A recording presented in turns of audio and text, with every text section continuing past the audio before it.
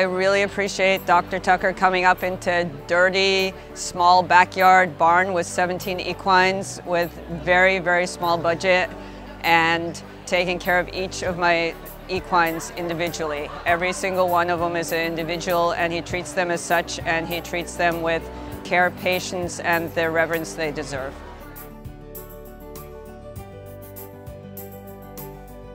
I had the concern, we had a very, very good equine dentist that dropped dead and I thought I would never ever find somebody to take his place because he was just amazing.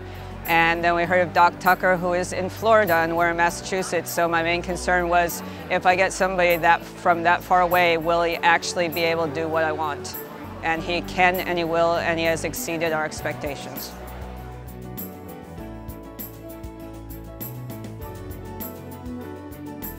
The individual care of the horses and not just going in and doing something, but actually applying a trade that makes them feel better, makes them feel more comfortable, but takes all the horses' concerns, not mine as a owner, but the horses as individuals into what he does.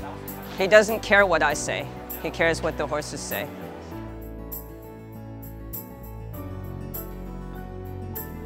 I do.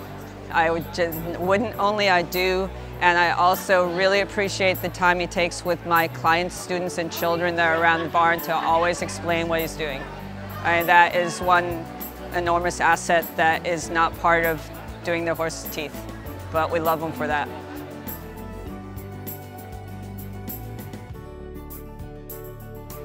What type of people?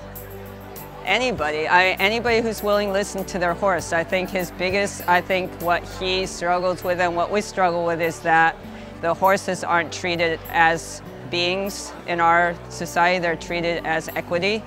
And he has that mindset that the horse needs to come first almost, and any person would benefit from that knowledge.